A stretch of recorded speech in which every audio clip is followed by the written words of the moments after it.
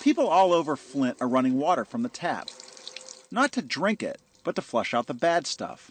The flushing program is another necessary fix or step to fixing the city's broken water system. Governor Rick Snyder and Mayor Karen Weaver are asking all residents to run water in their homes. Every day for two weeks. The filters are working, but this will help clear and coat the pipes at no cost to you. The state is paying all Flint water bills in May to encourage the practice.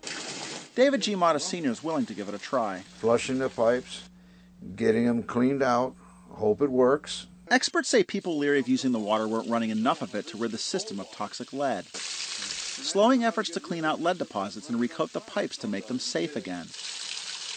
Mata is among an untold number of Flint's 100,000 residents whose water was tainted after the city used the Flint River for 18 months without corrosion controls. It changed the color of my sink, changed the color of my toilets, changed color of everything. And it had a bad scent, and you could smell it, you can breathe it, and you cough on it. As much as Mata hopes for good to come from running the water each day, not everybody is buying in. I don't trust it. Tammy Brewer is taking part in the pipe flushing effort, but she's not sure it's going to help. No more will I believe any government, anything.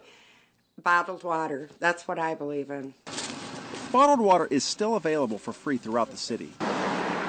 But officials and some residents are hoping potential fixes like the pipe flushing effort will put them back on the road to having clean water in their homes. Mike Householder, Associated Press, Flint, Michigan.